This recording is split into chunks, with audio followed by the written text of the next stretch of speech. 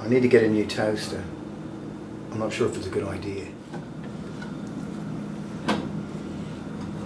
I mean, I'm, I'm a bit worried. It, it's, it's not been a, an inspiring year. The, the, a lot of tragedy and disaster, the, the floods and, and tornadoes, earthquakes, tsunami, nuclear meltdown in Japan. I mean, I'm not a doomsday person, but it's hard in some ways not to look at everything and go, well, this certainly looks like the end of the world. I mean, the Mayans, they're, they're going, what, 2012, that's the end of it all? Well, what if they're right, but they're wrong?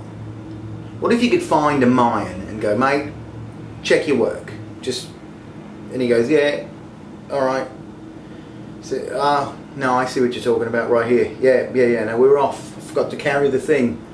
2011, end of the world 2011, 12, we were, we were off by a year. Sorry, sorry everyone, we're Mayan.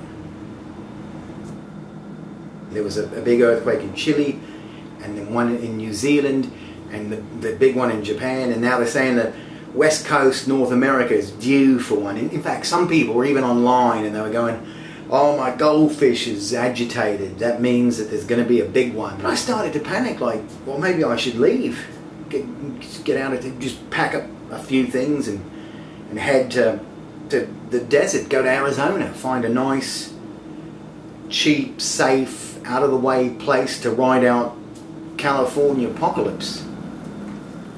And then I started thinking, well, maybe it'll hit somewhere else. Maybe it'll, maybe it'll hit Oregon because you know I don't I don't work in Oregon. So not that I want them to hit on, but I mean I don't work there. I have some kind of a kit. I've got water and non-perishable food. That's yeah, that's going to be exciting to look forward to. A, a post-apocalyptic future of crackers and tin fruit. Even without the earthquake, it's still a panic because there's this nuclear meltdown in Japan, leaking radiation everywhere in the water and the air.